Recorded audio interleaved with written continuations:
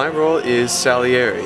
He is kind of a vicious, nasty person, but he is the narrator. So if you come to see the show, you'll be seeing it through his eyes.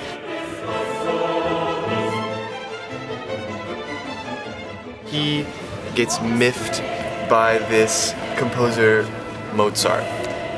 Hi. The show is about Salieri's relationship with God and how he wants to be the world's greatest composer.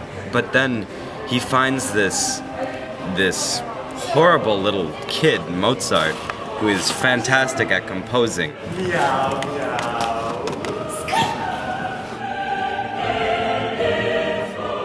Mozart is completely oblivious and he thinks Salieri is his best friend, but then what Salieri really wants is revenge.